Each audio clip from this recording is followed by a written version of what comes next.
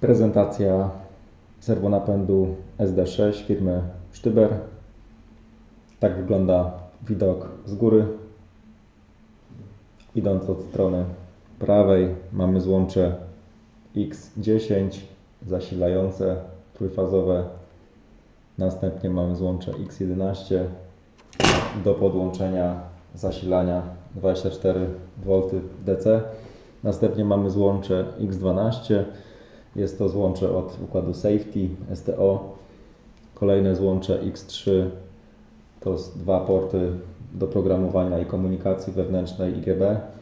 Następnie mamy opcjonalne złącze do komunikacji X200, do którego możemy zamontować trzy opcjonalne karty komunikacyjne. Pierwsza karta jest to karta komunikacji CAN. Następna karta jest to komunikacja Ethercat. I jeszcze jest jedna do wyboru. Jest to karta komunikacji Profinet. Jest to karta opcjonalna, może być zamontowana lub nie. Wszystko zależy od nas. Przechodząc do strony czołowej, mamy podświetlany ekran,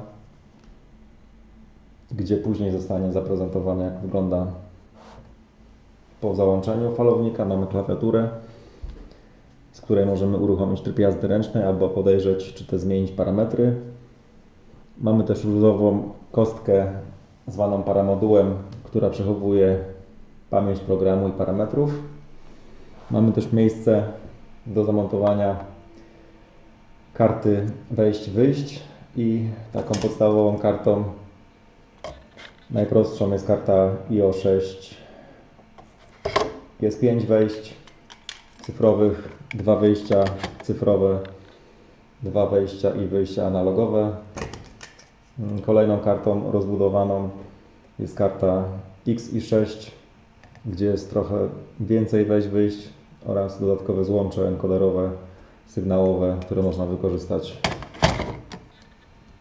Trzecią z kart jest karta RI6, która jest wykorzystywana do podłączenia e, encodera typu Resolver. Jeżeli mamy silnik z takim właśnie encoderem, to stosujemy tą kartę.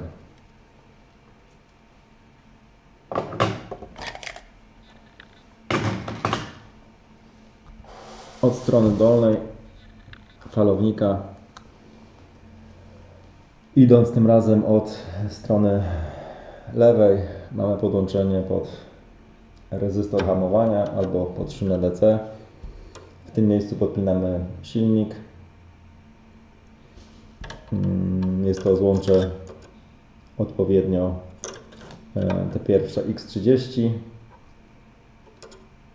złącze X20 do podłączenia silnika. Złącze X2 do podłączenia czujnika temperatury. Złącze X5 w tym miejscu do podłączenia hamulca. Złącze X6 do zasilania hamulca oraz feedbacku powrotnego. Złącze X1 do podłączenia enabla i złącze X4 do podłączenia encodera. Tak wygląda prezentacja samych złączy.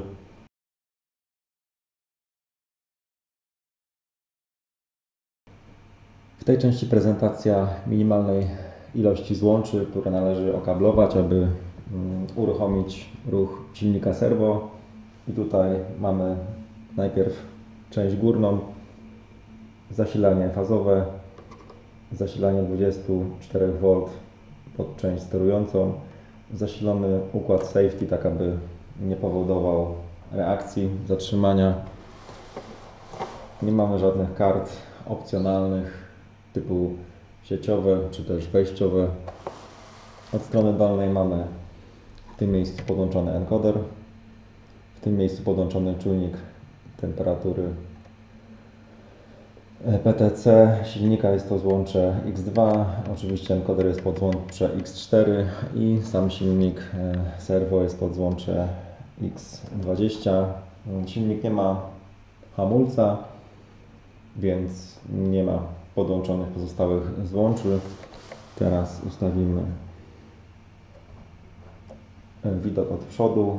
E, Widać na górze silnik serwo, na dole. Falownik i po załączeniu będziemy mogli zaobserwować ekran falownika serwonapędu SD6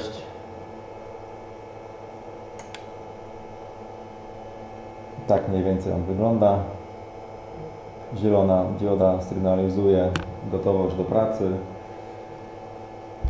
Na ekranie mamy cztery linie Pierwsza linia to jest oczywiście pozycja, druga obroty, trzecia prąd i czwarta to jest status serwonapędu. Można linię parametrów sobie dopasować w programie DS6 do parametryzacji. Możemy sprawdzić, czy wszystko jest dobrze podłączone i wyzwolić tryb jazdy ręcznej przez wciśnięcie przycisku łapki, następnie przycisk I.O. Mamy tryb jazdy ręcznej, co jest widoczne również na ekranie. Widzimy, że po przyciśnięciu prawego przycisku na klawiaturze mamy ruch w prawo, następnie ruch w lewo, więc wszystko jest dobrze ustawione. Oczywiście zakładając, że mamy zaprogramowaną aplikację, ale to będzie już w kolejnym odcinku.